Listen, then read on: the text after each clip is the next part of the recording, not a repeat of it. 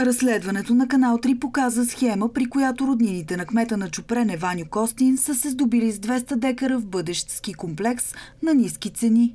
Акция на спецпрокуратурата потвърди, че в последните 4 години издигнатият от БСП кмет е продал 236 декара земя на 4 дружества, собственост на баща му, бившата и настоящата му съпруга и на брат му.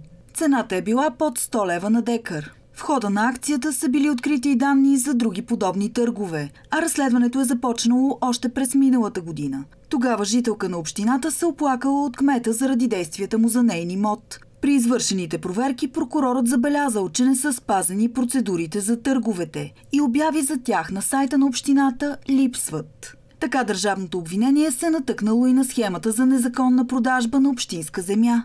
Спецпрокуратурата ще поиска постоянен арест за кмета на Чупрене Ваню Костин.